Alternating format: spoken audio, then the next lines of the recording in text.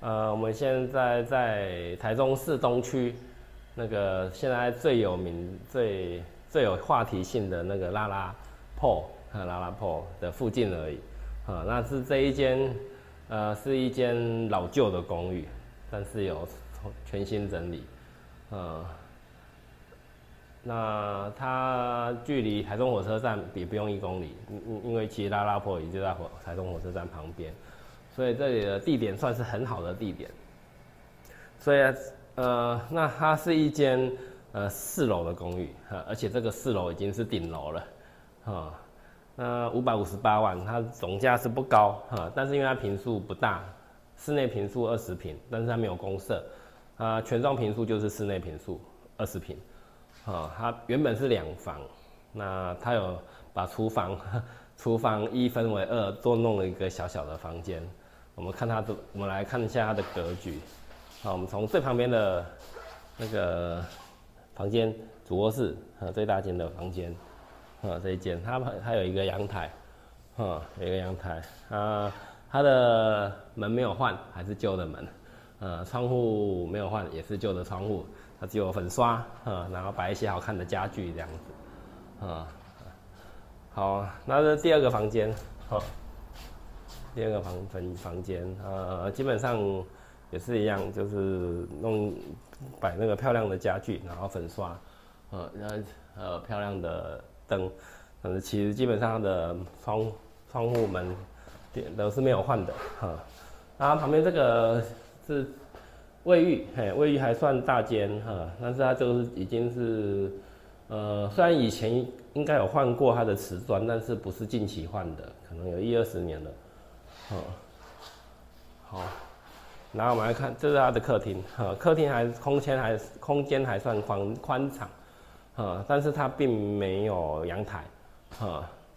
好，然后来看一下这个 非常特别的厨房，本来厨房很大，它把它隔一半掉了，啊，本本来这边也是厨房的一部分，它硬硬隔了一个小房间，那可以当小房间，也可以把把它当成餐厅。啊，也可以，啊，它这是它的，就是刚弄好的那个厨具，哈，就这个是新的，哈，然后它旁边摆一个餐桌，五百五十八万，它有它，因为它在拉拉破旁边啊，有它的有它的独特性，哈，所以，呃，室内二十平其实也不算大，哈，但是因为它没有公设了，嗯，也不用缴管理费。呃，很大的缺点就是它是爬四楼，啊，呃，爬起来会有点喘，哈，但是爬久了就习惯了，啊，应该要爬一两个礼拜，啊，就会比较习惯。我们去，因为它这个已经是四楼就是顶楼，所以我们去顶楼看一下。它这个楼梯非常的宽敞，超过一米，超过一米的大楼梯，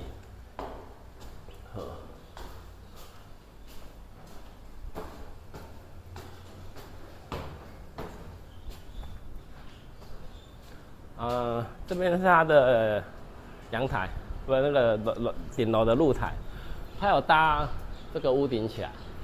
啊，所以就是比较太阳没有不会直接晒，所以哈比较不会那么顶楼就比较不会那么闷热，哈，顶楼比较不会那么闷热，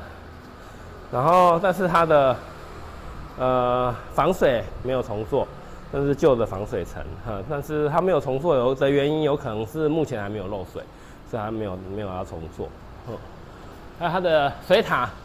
是那种最旧式的这种水泥的水泥的水塔，哈，这种水塔呃是蛮耐用的啦，但是有一个缺点，就是它有可能会造成顶楼会有部分渗水会从这个。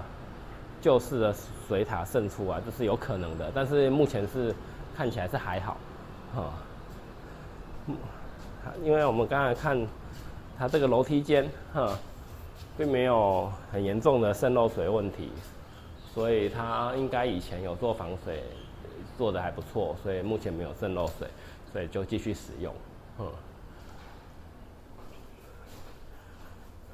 ，OK，这种。旧的公寓大楼都是破旧的公寓，一般都超过四十年。嗯，OK，大概是这样。它楼梯很宽敞，很好走，啊，只是要爬到四楼而已。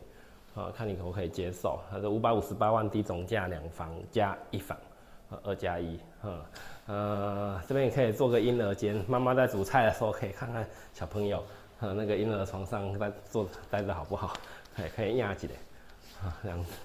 或者是小朋友刚回家，不可以去房间，只能先来这边，啊，写功课，写完功课才可以出来看电视，呃，然后妈妈煮菜可以边监督这样子。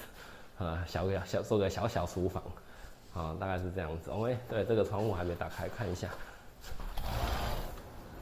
嗯，对，就是被其他建筑物挡住，但是还是有采光。OK，好，那大概是这样。啊，就在拉拉破旁边，哎呀，走路就可以去逛街了，很方便。哈，好，希望你会喜欢，谢谢。